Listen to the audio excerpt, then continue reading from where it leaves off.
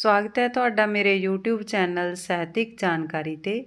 ਅੱਜ ਦੀ ਇਸ ਵੀਡੀਓ ਵਿੱਚ ਆਪਾਂ ਪੰਡਿਤ ਸ਼ਰਦਾ ਰਾਮ ਫਿਲੌਰੀ ਬਾਰੇ ਵਿਸਤਾਰ ਸਹਿਤ ਜਾਣਕਾਰੀ ਪ੍ਰਾਪਤ ਕਰਾਂਗੇ। ਤਾਂ ਚਲੋ ਸ਼ੁਰੂ ਕਰਦੇ ਹਾਂ ਸਾਡਾ ਅੱਜ ਦਾ ਟੌਪਿਕ ਪੰਡਿਤ ਸ਼ਰਦਾ ਰਾਮ ਫਿਲੌਰੀ ਨੂੰ ਪੰਜਾਬੀ ਵਾਰਤਕ ਦਾ ਪਿਤਾਮਾ ਕਿਹਾ ਜਾਂਦਾ ਹੈ। ਉਹ ਮਸ਼ਹੂਰ ਆਰਤੀ ਓਮ ਜੈ ਜਗਦੀਸ਼ ਹਰੇ ਦੇ ਲੇਖਕ ਹਨ ਤੇ ਉਹਨਾਂ ਨੇ ਪੰਜਾਬੀ ਤੇ ਹਿੰਦੀ ਵਿੱਚ ਰਚਨਾਵਾਂ ਲਿਖੀਆਂ। ਤੇ ਉਹਨਾਂ ਦੇ ਜਨਮ ਬਾਰੇ ਦੱਸਣ ਤੋਂ ਪਹਿਲਾਂ ਮੈਂ ਥੋੜਾ ਜਿਹਾ ਉਹਨਾਂ ਬਾਰੇ ਤੁਹਾਨੂੰ ਦੱਸਦੀ ਹਾਂ ਵੀ ਉਹਨਾਂ ਦਾ ਨਾਮ ਜਿਹੜਾ ਸ਼ਰਦਾ ਰਾਮ ਫੈਲੋਰੀ, ਇਹ ਕੁਲ ਦੀ ਰੀਤੀ ਤੇ ਸੰਸਕਾਰਾਂ ਦੇ ਨਾਲ ਰੱਖਿਆ ਗਿਆ। ਬਚਪਨ ਤੋਂ ਹੀ ਇਹ ਤੇਜ਼ ਦਿਮਾਗ, ਮਿਹਨਤੀ, ਵਿਦਵਾਨ, ਨਟਖਟ, ਚਤਰ ਤੇ ਸੁਜਾਨ ਸੀ।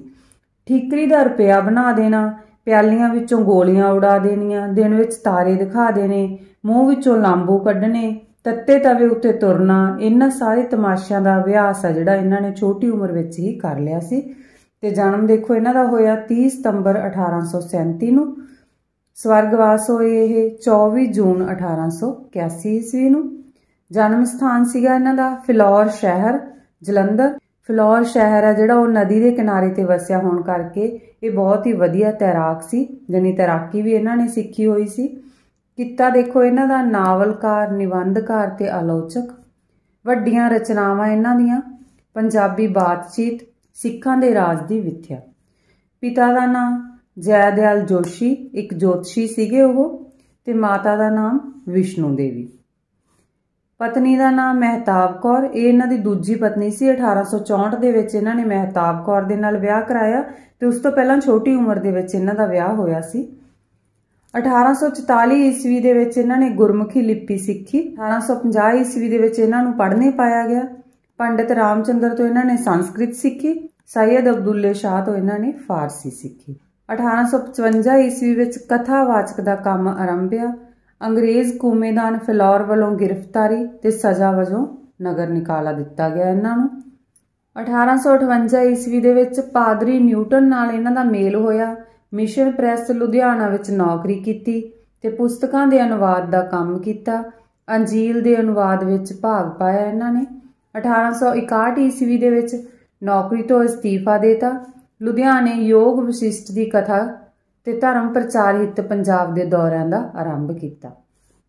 1866 ਈਸਵੀ ਦੇ ਵਿੱਚ ਸਿੱਖਾਂ ਦੇ ਰਾਜ ਦੀ ਵਿਥਿਆ ਦੀ ਰਚਨਾ ਕੀਤੀ, ਜੋ ਕਿ ਇਹਨਾਂ ਦੀ ਮਹਾਨ ਰਚਨਾ ਇੱਕ। 1867 ਈਸਵੀ ਵਿੱਚ ਦੇਖੋ, ਫਿਲੌਰ ਵਿੱਚ ਕਥਾ ਕੀਰਤਨ ਦਾ ਪ੍ਰਵਾਹ ਤੇ ਸਦਾ ਵਰਤ ਸ਼ੁਰੂ। ਲੁਧਿਆਣੇ ਵਿੱਚ ਸੰਸਕ੍ਰਿਤ, ਫਾਰਸੀ ਦਾ ਹਿੰਦ ਸਕੂਲ ਤੇ ਹਿੰਦੂ ਧਰਮ ਪ੍ਰਕਾਸ਼ਕ ਸਭਾ। ਸਥਾਪਿਤ ਕੀਤੀ। 1875 ਈਸਵੀ ਦੇ ਵਿੱਚ ਪੰਜਾਬੀ ਬਾਤਚੀਤ ਦੀ ਰਚਨਾ ਕੀਤੀ ਹੈ ਤੇ 1880 ਦੇ ਵਿੱਚ ਲੈਫਟੀਨੈਂਟ ਗਵਰਨਰ ਪੰਜਾਬ ਦੇ ਕਹਿਣ ਤੇ ਦਾਬਿਸਤਾਨ ਮਜ਼ਾਹਬ ਦਾ ਉਰਦੂ ਅਨੁਵਾਦ ਕੀਤਾ। ਇਸ ਪੁਸਤਕ ਦਾ ਉਰਦੂ ਦੇ ਵਿੱਚ ਅਨੁਵਾਦ ਕੀਤਾ ਜਾਨੀ ਅਨੁਵਾਦ ਦਾ ਮਤਲਬ ਹੁੰਦਾ ਦੇਖੋ ਵੀ ਉਰਦੂ ਦੇ ਵਿੱਚ ਇਸ ਨੂੰ ਲਿਖਿਆ। ਇਹ ਵਾਲੀ ਪੁਸਤਕ ਨੂੰ, ਠੀਕ ਹੈ? ਰਚਨਾਵਾਂ ਦੇਖੋ ਸ਼ਰਦਾ ਰਾਮ ਫਿਲੌਰੀ ਜੀ ਦੀਆਂ। ਅਲੱਗ-ਅਲੱਗ ਭਾਸ਼ਾਵਾਂ ਦੇ ਵਿੱਚ ਜਿਹੜੀਆਂ ਜਿਹੜੀਆਂ ਉਹਨਾਂ ਨੇ ਲਿਖੀਆਂ, ਉਹਨਾਂ ਬਾਰੇ ਮੈਂ ਇੱਥੇ ਲਿਖਿਆ ਸੰਸਕ੍ਰਿਤ ਦੇ ਵਿੱਚ ਨਿਤਿਆ ਪ੍ਰਾਰਥਨਾ, ਆਤਮ ਚਿਕਿਤਸਾ ਪ੍ਰਿੰਗ ਸਾਹਿਤਾ, ਜੋਤਿਸ਼ ਬਾਰੇ ਇਹ ਪੁਸਤਕ ਜਿਹੜੀ ਪ੍ਰਿੰਗ ਸਾਹਿਤਾ, ਸ਼ਿਵ ਪ੍ਰਾਨ ਦੀ ਕਥਾ, ਹਰਿਤਾ ਲਿਕਾਵਰਤ ਇਸ ਤੋਂ ਬਾਅਦ ਹਿੰਦੀ ਦੇ ਵਿੱਚ ਦੇਖੋ, ਕਵਿਤ ਲਿਖੇ 15 ਤਤਵ ਦੀਪਕ, ਇਹਦੇ ਵਿੱਚ ਧਰਮ ਕਰਮ ਦਾ ਸਾਰ ਹੈ ਇਸ ਪੁਸਤਕ ਦੇ ਵਿੱਚ। ਸੱਤ ਧਰਮ ਮੁਕਤਾਵਲੀ ਦੇ ਵਿੱਚ ਭਜਨਾਂ ਦਾ ਟਰੈਕਟ ਹੈ ਇਹ। ਭਾਗਿਆਵਤੀ ਨਾਵਲ ਹੈ, ਇਹਨਾਂ ਦਾ 1877 ਈਸਵੀ ਦੇ ਵਿੱਚ ਇਹ ਪ੍ਰਕਾਸ਼ਿਤ ਹੋਇਆ। ਪ੍ਰਯਾਗ ਮਿੱਤਰ, ਇਸਤਰੀ ਸਿੱਖਿਆ ਦੀ ਪੁਸਤਕ ਹੈ ਇਹਨਾਂ ਦੀ। ਪ੍ਰਜਾ ਹਿਤੈਸ਼ੀ, ਇਸਤਰੀ ਚੱਲਣ ਦੇ ਉਪਦੇਸ਼ ਹੈ ਇਹਦੇ ਵਿੱਚ। ਬਿਹਾਰ ਬੰਧੂ, ਇਸਤਰੀ ਸਿੱਖਿਆ ਬਾਰੇ ਹੈ। ਰਮਾਲਾ ਕਾਮਦੇਨ ਨੂੰ 1866 ਦੇ ਵਿੱਚ ਪ੍ਰਕਾਸ਼ਿਤ ਹੋਇਆ। ਰਮਲ ਵਿਦਿਆ ਬਾਰੇ ਹੈ ਇਹ।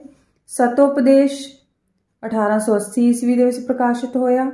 ਬੀਜ ਮੰਤਰ ਵੀ 1880 ਈਸਵੀ ਦੇ ਵਿੱਚ ਪ੍ਰਕਾਸ਼ਿਤ ਹੋਇਆ। ਇਹ ਪਰਾ ਵਿਦਿਆ ਦੀ ਸਿੱਖਿਆ ਦੇ ਵਿੱਚ। ਸਤਿਆ ਮਿੱਤਰ ਪ੍ਰਵਾਹ ਪਾਕ ਸਾਧਨੀ, ਇਹਦੇ ਵਿੱਚ ਕੀ ਹੈ? ਰਸੋਈ ਸਿੱਖਿਆ, ਪਾਕ ਸਾਧਨੀ ਦੇਖੋ। ਪਾਕ ਸਾਧਨੀ ਦਾ ਮਤਲਬ ਜਿਹੜੀ ਪਵਿੱਤਰ ਹੋਵੇ, ਠੀਕ ਹੈ, ਜਿਹਨੂੰ ਰਸੋਈ ਬਾਰੇ ਸਾਰੀ ਸਿੱਖਿਆ ਹੋਵੇ, ਸਾਰੀ ਜਾਣਕਾਰੀ ਹੋਵੇ, ਉਹਨੂੰ ਇਹ ਉਸ ਬਾਰੇ ਪੁਸਤਕ ਹੈ। ਕੇਤਕ ਸੰਗ੍ਰਹਿ, ਜਾਦੂ ਤਮਾਸ਼ਿਆਂ ਬਾਰੇ ਤੇ ਦ੍ਰਿਸ਼ਟਾਂਵਲੀ, ਦ੍ਰਿਸ਼ਟਾਂਤ ਸੰਗ੍ਰਹਿ ਹੈ ਇਹਨਾਂ ਦਾ। ਉਰਦੂ ਦੇ ਵਿੱਚ ਦੇਖੋ ਜਿਹੜੀਆਂ ਪੁਸਤਕਾਂ ਦੀ ਰਚਨਾ ਕੀਤੀ ਹੈ। ਦੁਰਜਨ ਮੁਖ ਚਪੇਟਿਕਾ, ਈਸਾਈ ਇਸਲਾਮ ਤੇ ਬ੍ਰਹਮ ਸਮਾਜ ਦਾ ਖੰਡਨ ਧਾਰਮਿਕ ਸੌਟੀ 1874 ਦੇ ਵਿੱਚ ਪ੍ਰਕਾਸ਼ਿਤ ਹੋਈ ਹੈ। ਉਪਨਿਸ਼ਦਾਂ ਦਾ ਅਨੁਵਾਦ ਹੈ ਇਹ। ਧਰਮ ਰੱਖਿਆ 1876 ਈਸਵੀ ਦੇ ਵਿੱਚ ਬ੍ਰਹਮ ਸਮਾਜ ਨਵੀਨ ਚੰਦਰ ਰਾਏ ਸਾਹਿਬ ਦੇ ਲੈਕਚਰ ਦੇ ਜਵਾਬ ਵਿੱਚ ਲਿਖੀ ਇਹਨਾਂ ਨੇ ਇਹ ਪੁਸਤਕ ਧਰਮ ਸੰਵਾਦ 1876 ਈਸਵੀ ਚ ਪ੍ਰਸ਼ਨੋੱਤਰੀਆਂ ਇਹਦੇ ਵਿੱਚ ਉਪਦੇਸ਼ ਸੰਗ੍ਰਹਿ, ਧਾਰਮਿਕ ਉਪਦੇਸ਼ਾਂ ਬਾਰੇ ਹੈ ਤੇ ਉਹ ਮੂਲ ਮਜ਼ਾਹਿਬ 1880 ਈਸਵੀ ਦੇ ਵਿੱਚ ਪ੍ਰਕਾਸ਼ਿਤ ਹੋਈ। ਦਾਬਿਸਤਾਨ ਮਜ਼ਾਹਬ ਦਾ ਉਰਦੂ ਅਨੁਵਾਦ ਪਹਿਲਾਂ ਵੀ ਦੱਸ ਚੁੱਕੀ ਹਾਂ ਮੈਂ ਤੁਹਾਨੂੰ ਇਹਦੇ ਬਾਰੇ। ਪੰਜਾਬੀ ਦੇ ਵਿੱਚ ਦੇਖੋ ਬੈਂਤਾਂ ਲਿਖੀਆਂ ਇਹਨਾਂ ਨੇ 12 ਮਾਸਾ, ਸਿੱਖਾਂ ਦੇ ਰਾਜ ਦੀ ਵਿਥਿਆ ਤੇ ਪੰਜਾਬੀ ਬਾਤਚੀਤ। ਥੋੜੀ ਜਿਹੀ ਜਾਣਕਾਰੀ ਮੈਂ ਇੱਥੇ ਇਹਨਾਂ ਦੀਆਂ ਇੰਪੋਰਟੈਂਟ ਪੁਸਤਕਾਂ ਬਾਰੇ ਲਿਖੀ ਹੈ, ਜਿਹੜੀਆਂ ਪੰਜਾਬੀ ਦੇ ਵਿੱਚ ਪ੍ਰਕਾਸ਼ਿਤ ਹੋਈਆਂ। ਸਿੱਖਾਂ ਦੇ ਰਾਜ ਦੀ ਵਿਥਿਆ 1866 ਈਸਵੀ ਦੇ ਵਿੱਚ ਪ੍ਰਕਾਸ਼ਿਤ ਹੋਈ ਹੈ। ਇਹ ਪੁਸਤਕ ਸਿੱਖ ਧਰਮ ਤੇ ਰਣਜੀਤ ਸਿੰਘ ਦੇ ਰਾਜ ਬਾਰੇ ਹੈ।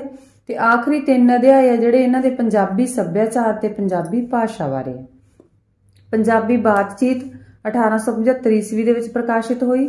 ਇਹ ਕਿਤਾਬ ਖਾਸ ਤੌਰ ਤੇ ਬ੍ਰਿਟਿਸ਼ ਨੂੰ ਸਥਾਨਕ ਬੋਲੀ ਨੂੰ ਸਮਝਣ ਵਿੱਚ ਮਦਦ ਕਰਨ ਲਈ ਲਿਖੀ ਗਈ ਸੀ। ਬ੍ਰਿਟਿਸ਼ ਦੇਖੋ, ਅੰਗਰੇਜ਼ਾਂ ਨੂੰ, ਠੀਕ ਹੈ ਵੀ ਉਹ ਪੰਜਾਬੀ ਬੋਲੀ ਨੂੰ ਸਮਝ ਸਕਣ, ਉਸ ਸਮੇਂ ਦੀ ਸਥਾਨਕ ਬੋਲੀ ਸੀ ਜਿਹੜੀ ਉਸ ਨੂੰ ਸਮਝਣ ਦੇ ਲਈ ਲਿਖੀ ਗਈ ਸੀ। ਗੁਰਮੁਖੀ ਲਿਪੀ ਤੋਂ ਰੋਮਨ ਸਕ੍ਰਿਪਟ ਵਿੱਚ ਲਿਪੀ ਅੰਤਰ ਕੀਤੀ ਗਈ ਸ਼ਾਇਦ ਇਹ ਪਹਿਲੀ ਕਿਤਾਬ ਹੈ। ਓਮ ਜੈ ਜਗਦੀਸ਼, ਹਰੇ ਦਾ ਪਹਿਲੀ ਵਾਰ ਪੰਜਾਬੀ ਵਿੱਚ ਅਨੁਵਾਦ ਹੋਇਆ ਦੇਖੋ 1870 ਈਸਵੀ ਦੇ ਵਿੱਚ। ਤੇ ਭਾਗਿਆਵਤੀ, ਇਹ ਹਿੰਦੀ ਦਾ ਸਭ ਤੋਂ ਪਹਿਲਾ ਨਾਵਲ ਹੈ ਜਿਹੜਾ ਕਿ 1888 ਈਸਵੀ ਦੇ ਵਿੱਚ ਪ੍ਰਕਾਸ਼ਿਤ ਹੋਇਆ। ਤੇ 1880 ਈਸਵੀ ਵਿੱਚ ਲਾਹੌਰ ਤੋਂ ਵਾਪਸ ਆ ਕੇ ਫਿਲੌਰ ਵਿੱਚ ਮੰਦਿਰ ਬਣਾਇਆ ਤੇ ਜਿਸ ਦਾ ਨਾਮ ਹਰੀ ਗਿਆਨ ਮੰਦਿਰ ਰੱਖਿਆ ਗਿਆ। ਤੇ 1881 ਈਸਵੀ ਵਿੱਚ ਆਪ ਨੂੰ ਹੈਜੇ ਦੀ ਬਿਮਾਰੀ ਨੇ ਆ ਘੇਰਿਆ ਤੇ 24 ਜੂਨ 1881 ਈਸਵੀ ਨੂੰ ਫਲੋਰ ਵਿਖੇ ਆਪ ਦੀ ਮੌਤ ਹੋ ਗਈ। ਤਾਂ ਦੇਖੋ, ਇਹ ਸੀਗੀ ਸ਼ਰਦਾ ਰਾਮ ਫਿਲੌਰੀ ਬਾਰੇ ਪੂਰੀ ਪੂਰੀ ਜਾਣਕਾਰੀ।